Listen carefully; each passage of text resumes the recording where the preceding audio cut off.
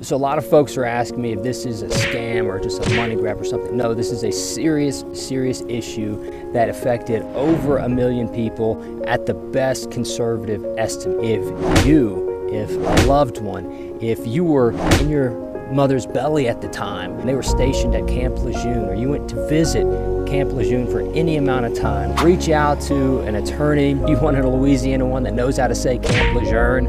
Reach out to us today. We can help make sure that you get the appropriate care and benefits that the VA is going to be required to provide based on the new law.